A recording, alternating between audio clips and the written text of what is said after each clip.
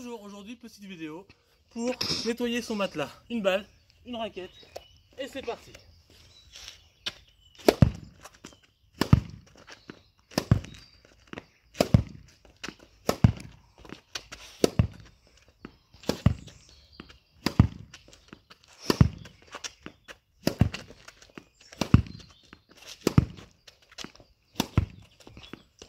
Et.